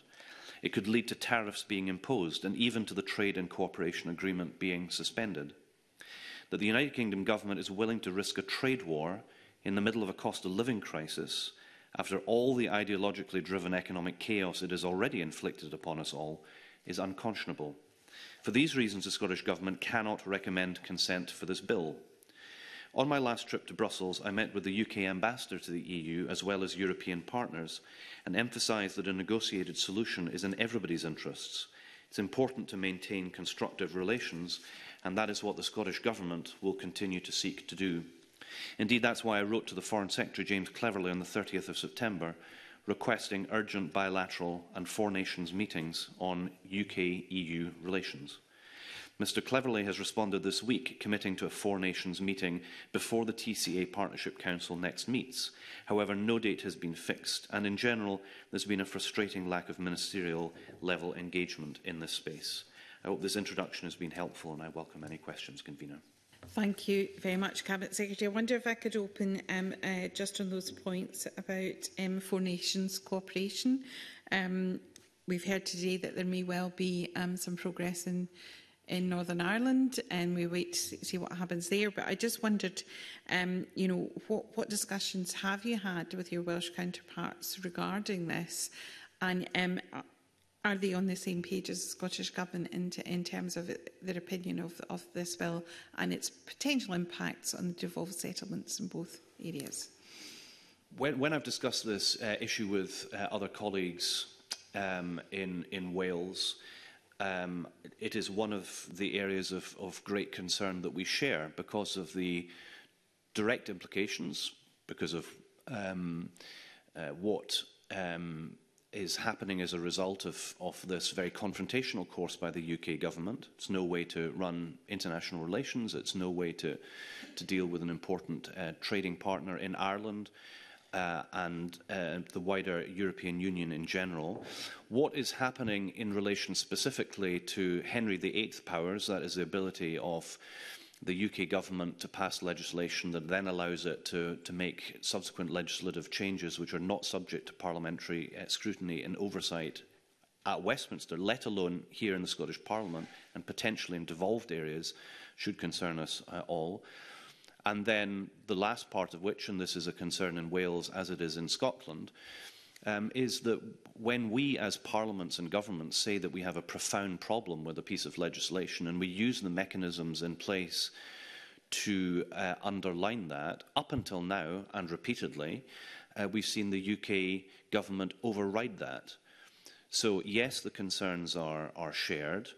I would hope that there's understanding across this committee, given the position that um, no MSP objected, uh, Uh, to the concerns that were um, uh, involved in the, in the motion that passed through the Scottish Parliament, that we are of one mind, hopefully, both as a Parliament and as a government, in, in saying to the UK government that it really, really does need to think again about this. Not only is it uh, of profound importance to Northern Ireland, but it also really matters uh, to devolution and intergovernmental relations in the UK, and of course, Um, it really matters that we don't uh, escalate things with the European Union such that we, we face a potential trade war. It's in nobody's interests. Thank you very much, Cabinet Secretary. I want to move to questions from the committee. I invite Mr Cameron first, please. Thank you. Good morning, Cabinet Secretary. Um, I, I'm very glad to hear at the outset of your um, comments that you acknowledged the change of tone, because I, I think that that is true. I think there is a change of tone. Uh, and I think that the new Prime Minister um, will adopt a more pragmatic approach. Um, I just, I think I'm going to ask the same question of you as I asked the panel earlier, which is that the Northern Ireland Protocol Bill, and we, we debated this in June, um, but the bill does contain um, various pragmatic um, proposals, the red-green lane, the dual regulatory regime, etc. And I just wondered from the Scottish Government's perspective, do you see any mileage in those as being viable solutions to the very knotty problems that I think exist? Okay, well, there, there's, an, there's the direct question, but there's also the Im, Im, implied suggestion there that there, there should be, with a, a change of tone, perhaps also a change of approach more generally that might, might be able to secure an agreed solution between the United Kingdom and the European Union. And if that is um, the thinking in, in Downing Street, I would very much welcome that. But I think Donald Cameron would agree with me a, a change in tone. Um, and these are very technical questions. Uh, and, but just to underline his point and agree with him in the conversations that I had, that I alluded to in my, my opening statement, both from the UK and European partners, there, there was a clear acknowledgement that there is a potential for a, what is described in the jargon as a, land, a potential landing zone for an agreement. All of, the, all of which underlines the point to me that if that is the preferred trajectory then that is indeed where we should be looking, rather than passing legislation, which, as we know, is deeply troubling for a number of reasons, um, and especially given where things are in Northern Ireland and the sensitivities around that. I think everybody understands that there hasn't been an executive formed in, in Northern Ireland, that unless there is progress this week, that there will be elections again in Northern Ireland. I think it's worth putting on record, if it hasn't been put on record uh, thus far today, uh, that in the last Northern Irish elections, a majority uh, of uh, members were elected uh, in support of the arrangements uh, as opposed to uh, opposition. Um, but it, it seems to me what we need now is more than just a change in tone, we need a change in substance. Uh, and we need uh, to break the logjam in, in all of this, which is why I think uh, proceeding with a confrontational course of action with the legislation that the UK government is proposing and the Scottish Parliament has, across the parties, voted for and certainly not voted against, um, that uh, they withdraw the bill and that they make progress on uh, a diplomatic and a technical level uh, to, to reach a solution which I, I would hope is in, in everybody's benefit. So change of tone, yes. Um, let's see a change in, in substance uh, as well. Are, are there technical areas? Sorry, Donald Cameron was asking, are there uh, areas uh, within which one could um, see room for technical uh, solutions? Well, I think, uh, well, yes is the answer, and that's been, um, that's been uh, signalled by Commissioner uh, Sefcovic, and proposals have been made by the European Union side. It would be really good to see those from the United Kingdom side. But it's certainly not going to be helped by legislation which um, legal observers with much greater legal training than, than I. I'm sure Donald Cameron knows many of them as, a, as, a, as, a, as an advocate. Uh, I believe is, is uh, in breach of international law. So that's very serious if that is the case. Um, uh, yet another reason why they shouldn't be proceeding with it. Thank you. Thank you. Thank you, Convener. Thank you. Um, Ms Boyack. Thank you very much, Convener.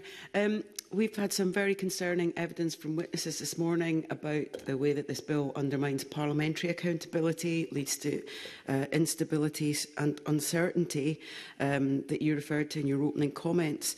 Um, can you say a bit more about the discussions you've had with um, other um, devolved nations? in terms of pushing back on this legislation. You've, you've highlighted the challenge in Northern Ireland, but with uh, the Welsh Government. Um, and can you say a bit about um, in principle about the use of secondary legislation rather than primary legislation, using the Henry VIII powers, which really make it impossible for us to conduct scrutiny on what you may be doing as a government, given the concerns that our own um, uh, devolved regulatory committee highlighted, as, as we've seen at the, the UK level, both in the House of Commons and the House of Lords. Uh, indeed. Um, I, what is happening with these so-called Henry VIII powers, I think it's been described by the, the Hansard Society as being breathtaking in their scope. And for those who are, are unaware what Henry VIII powers are, I think it's really important that we don't sort of hide behind terminology that you know, sounds kind of fluffy and historic and archaic, doesn't it? But what does it actually mean? And it is exactly as Sarah Boyack su suggests. It is uh, effectively um, taking away the power of of Parliament uh, to have oversight and, and scrutiny, but at the same time it also drives a coach and horses through the devolution settlement because it confers on the UK government powers to legislate in, in areas um, that, that it so chooses. And then we, as parliamentarians elected in this parliament, to hold the Scottish government to account – and myself as a Scottish Government Minister to be answerable to you as a committee and as a, a Parliament more general is just, um, it, it is the end of that. Uh, and I'll be, I would be saying to you in future evidence sessions that it, you really need to speak to UK, UK government ministers who are legislating in, in this area. And I think the work that's been done um, in particular in the House of Lords, and I'm, I am a critic of the House of Lords as an unelected institution, but there are um, there are some, there are uh, obviously a great many members of the House of Lords with great, great minds and legal, um, legal uh, experience. And um, their European um, committees in particular have an incredibly high standing. Uh, I know that as somebody who sat on the European Scrutiny Committee of the House of Commons for a decade. And if one looks at what has been said by the House of Lords committees in respect to the point that Sarah Boyack uh, raises, it should make alarm bells ring everywhere. And I, I'm, I don't know whether this is in the record, convener, but I think it's worth making sure that it is, that the chair of the House of Commons Justice Select Committee, Sir Robert uh, Neal, observed, somewhat colourfully, um, that, and I quote, there are Henry VIII powers and Henry VIII powers, and this is Henry VIII, the six wives, Cardinal Wolsey and Thomas Cromwell all thrown together. Um, now, that that, that is amusing in making the point that you know, we are talking about something which is very significant, but let's understand what the significance of it is, and again to pray and aid the House of Lords, their Delegated Powers and Regulatory Reform Committee made the, the following assessment in June. I quote from the Northern Ireland Protocol Bill is a skeleton bill that confers on ministers a license to legislate in the widest possible terms The bill represents as stark a transfer of power from Parliament to the executive. We're talking about the UK Parliament, the UK executive. As we have seen throughout the Brexit process, the bill is unprecedented in its cavalier treatment of Parliament, the EU and the government's international obligations.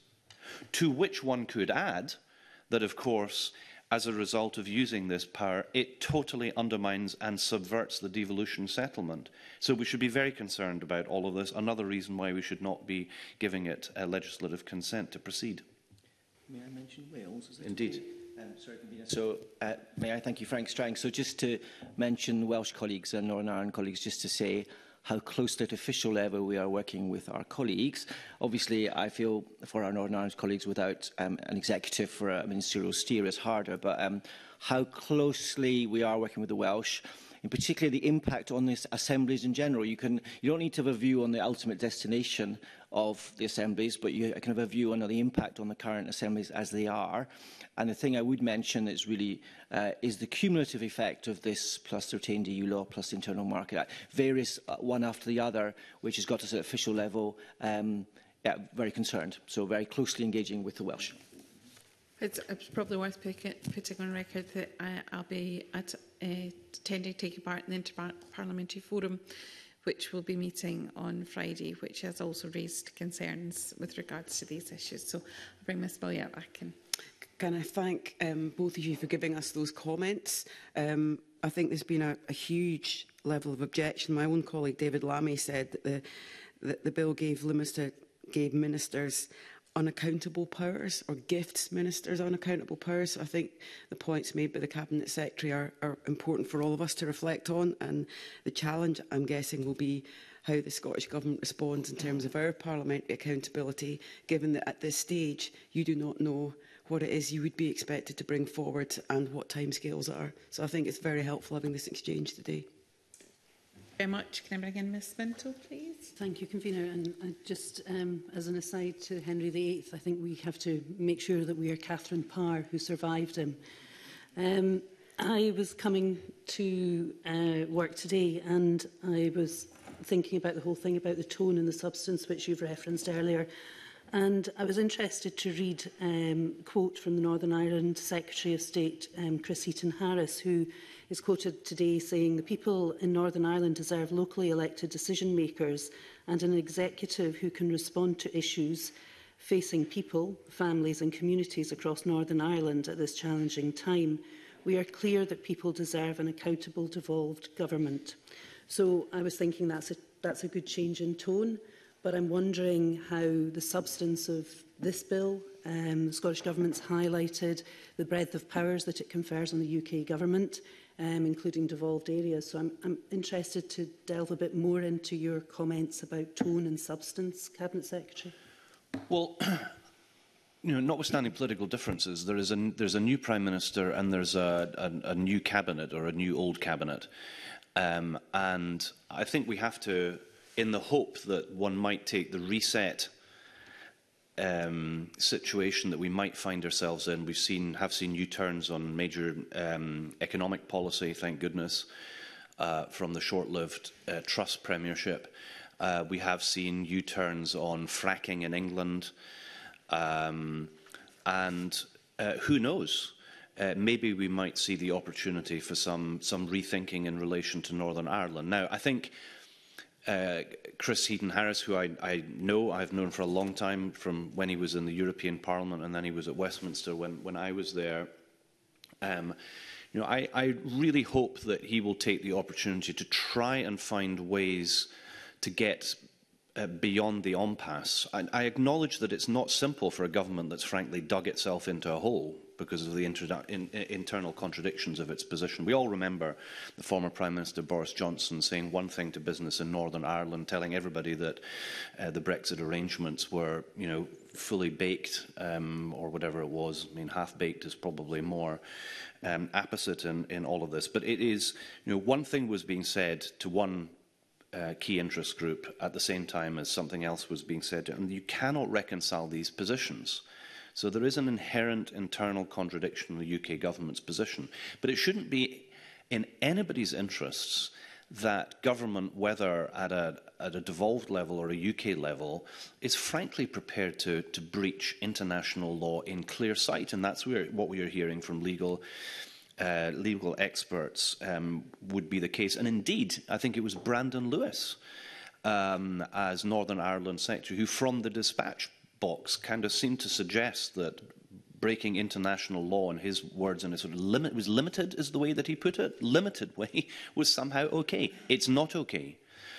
Um, and you know, I know we're talking about areas because, yes, it impacts on devolved decision-making powers in Scotland. It impacts on areas of devolved policy. It will impact on Scotland, not least because it is we who will be having to build border infrastructure in Scotland as a result of all of this, and we have little clarity yet in relation to the, the full scope of um, uh, all of that. Um, but, we, you know, we have a we have a big direct interest in this in Scotland, but we have a wider interest. Northern Ireland is one of our closest neighbours. We're literally kith and kin. And for all of those people of, of all political traditions who worked so hard to try and find a hard won solution to, to end the troubles in, in Northern Ireland, um, to see that um, endangered um, is something that should concern us uh, all. So, having said that, but then also being reflective on our collective position as a parliament, we've debated this. We have taken a view. Not a single MSP, no member of this committee, has objected to that uh, position um, with a motion that uh, described uh, things as being fundamentally unacceptable for the UK government to unilaterally disapply key parts of the uh, EU-UK withdrawal agreement. I could go on, but I mean, we, we are agreed. There is no disagreement.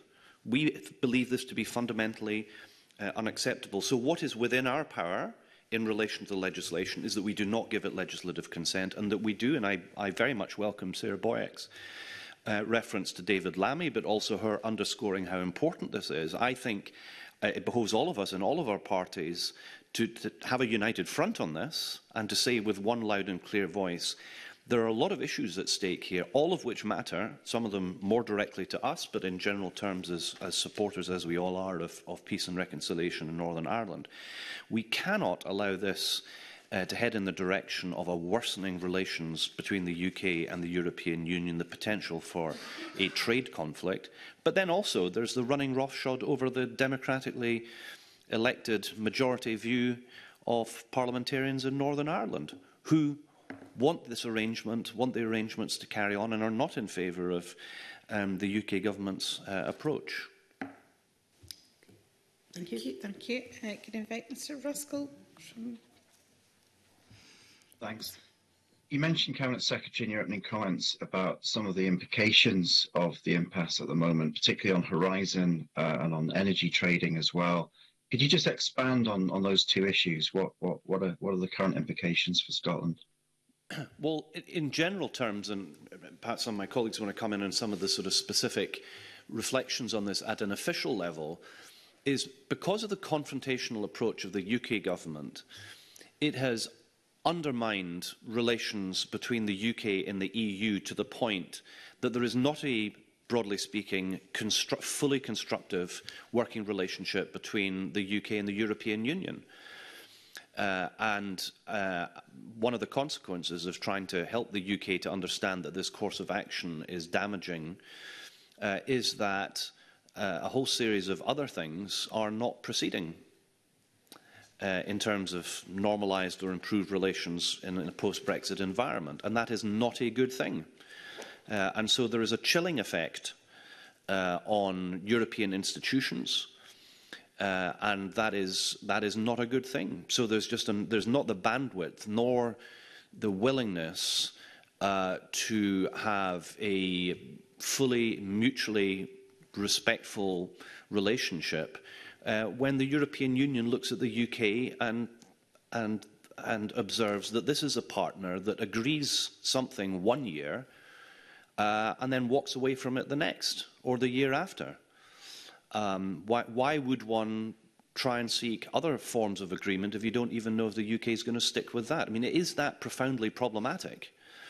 Um, and that's not a place that any rational, sensible actor wants to be. So I would encourage in this short um, period of opportunity for the UK government to think about pressing reset buttons, that they press a reset button on this, because it, it has to be in everybody's interest that we support peace and reconciliation in Northern Ireland, that we, um, uh, that we support uh, the, um, uh, the solution that has been found that effectively allows Northern Ireland to remain within the European single market and that you know, manageable border arrangements and proportionate border arrangements uh, can be found um, uh, in relation to Northern Ireland and, and Great Britain.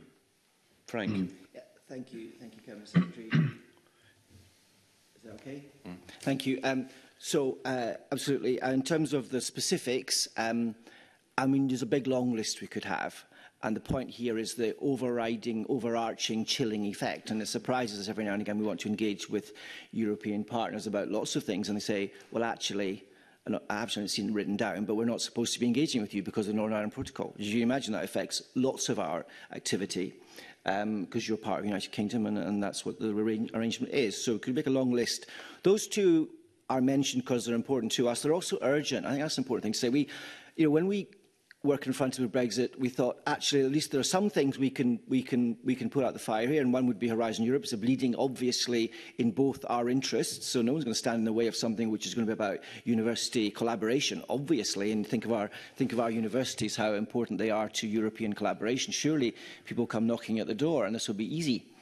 Um, And it's urgent because collaboration, when it's lost, is lost. You know, uh, you can't re rebuild it. It's really hard. And then the energy trading is just, we're at a critical moment, are we, in this stuff? So it's like, we're going to be in at the time. Um, so we sometimes forget the chilling effect of the Northern Ireland Protocol on everything else in our relationships with Europe. Mm -hmm. Thank you. It's just a longer list. It'd be good to see it. Okay. Yeah. Uh, are you finished, Mr Ruskell? questions? Yeah. Yeah, thank you very much. Thank you, eh, uh, Mr Strang, as well. Um, could I invite uh, Dr Allen, please? Thank you, uh, Convener. Thank you, Cabinet Secretary, for being here again. Um, we've heard uh, a lot this morning, as I'm sure you will have heard if you were listening in, about the issues that these, uh, these matters create about the rule of law. Um, experts have, have told us their, their view on that uh, from a legal point of view, but um, from the point of view of other European countries where the rule of law and constitutions and so forth are taken seriously, what does this situation do for the UK's reputation amongst European countries uh, in that respect? Well, I think the, the reputational damage is, uh, is profound. Um, it is one of the common narratives, is it not, when one hears people internationally talking about the UK, uh, that one hears about mothers of parliaments and rules of law and, uh, and all of that um, as, being, as being positive attributes of the United Kingdom. Uh, and that uh, is being called into question.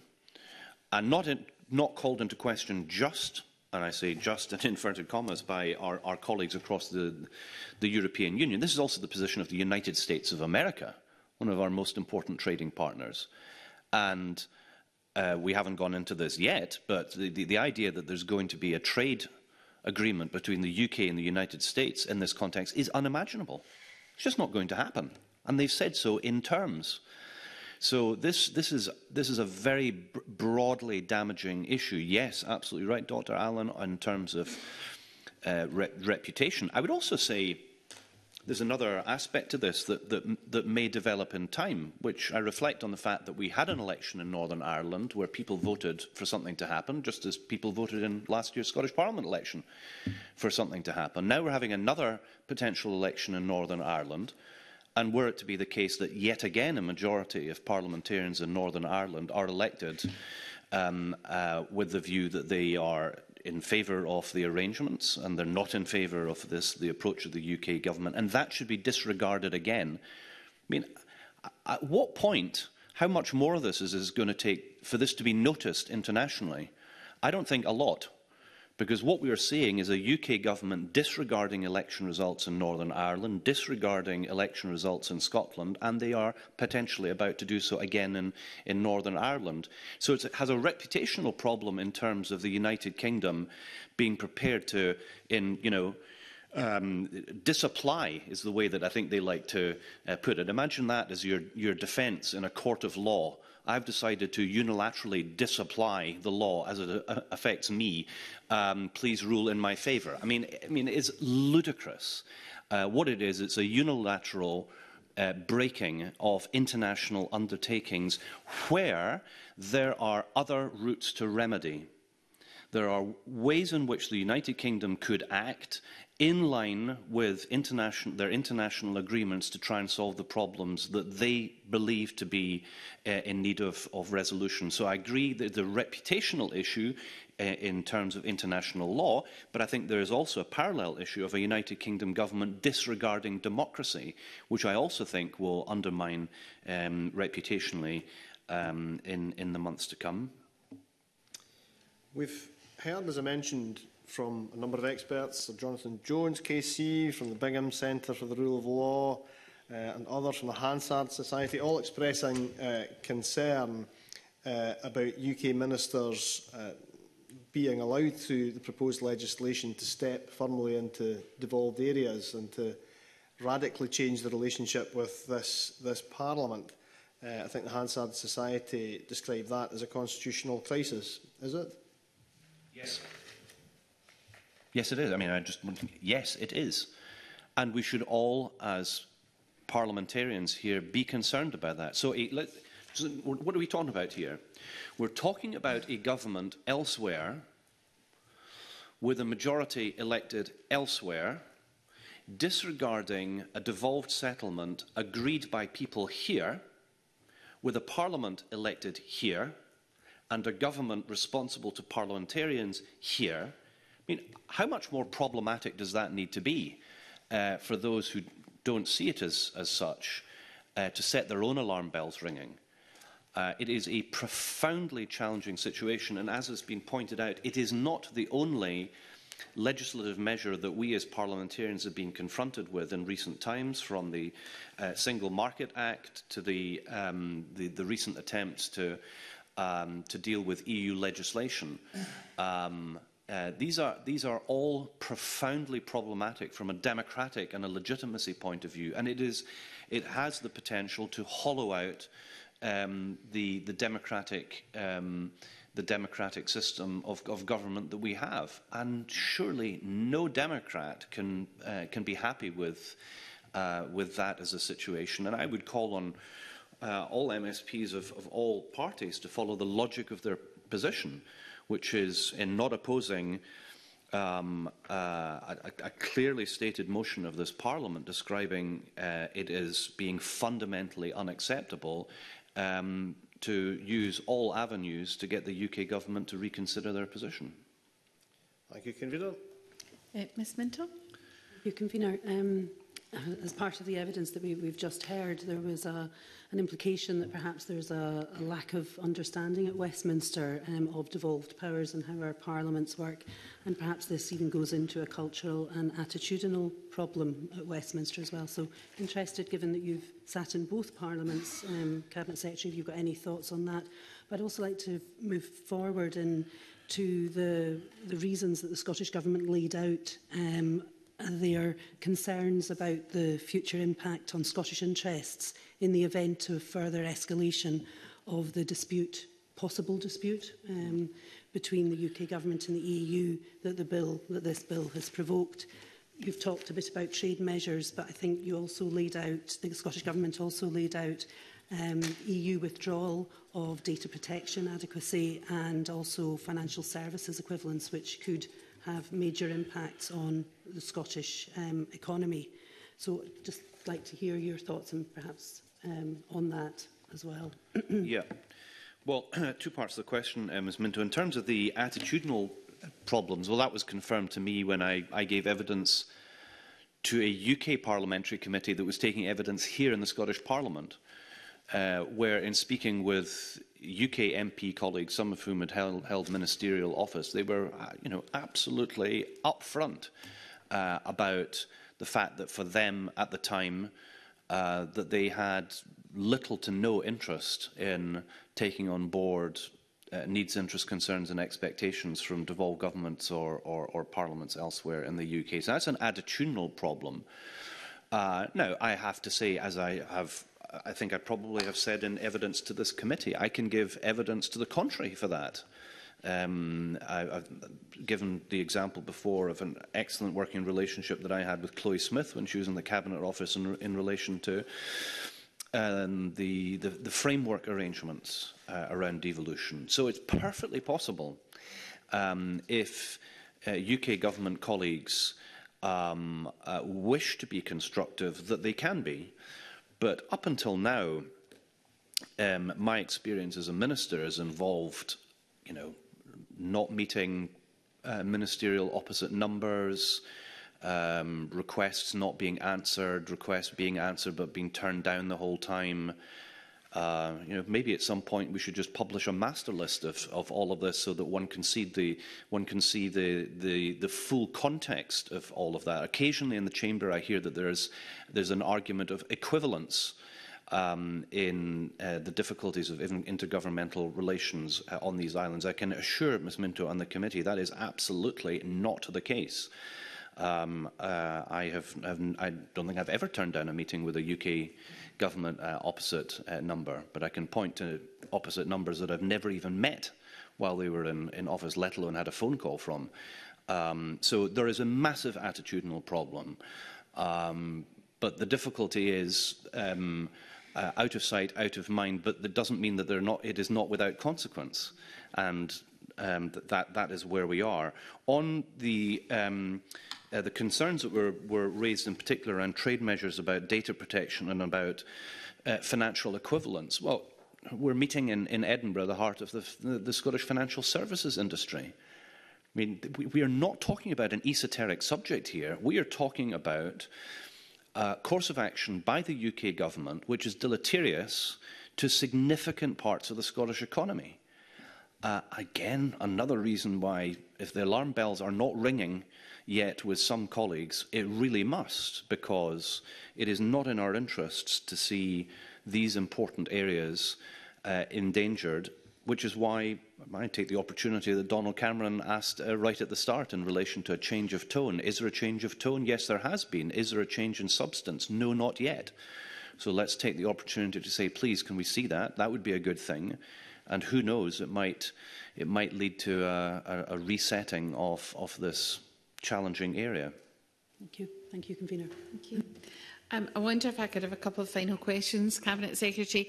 Um, a lot of our evidence and, and the concerns raised by the Hansard Society today were around the the, um, the Seoul Convention and, and and how it has operated. Um, and in a time when almost everything is changing, um, if, if if we're dependent on the traditional conventions um, that we have. Um, how, how do we move forward and ensure that it's not just about who's who's there and the willingness of the prime minister and the government but you know is there something that we can do to improve the constitutional arrangements because from the evidence we've seen the Seoul convention appears to be at, you know politely under strain very polite Um, well, the, the, the best way to deal with uh, constitutional uh, certainty or uncertainty around things like that is to actually have a constitution. That would be, that would be a good start. That's what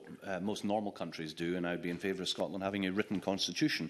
So we're not dependent on conventions. So the Sewell Convention uh, is very much observed in the breach, and in increasingly so. We're supposed to have um, a, a, an agreement um, by the UK government that if the Scottish Parliament takes a view that in these areas of devolved responsibility that the UK government should not legislate, that is what the Sewell Convention is.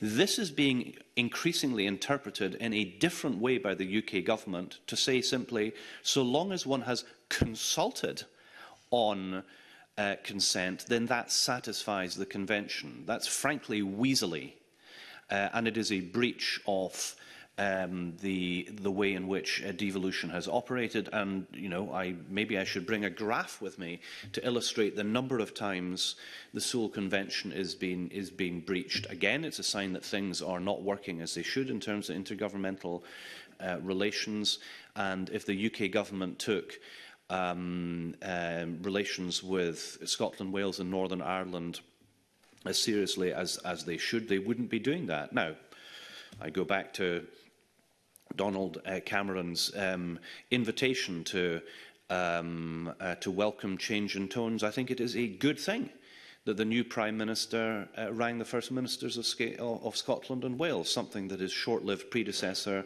was unwilling to do. Just think about that for a second.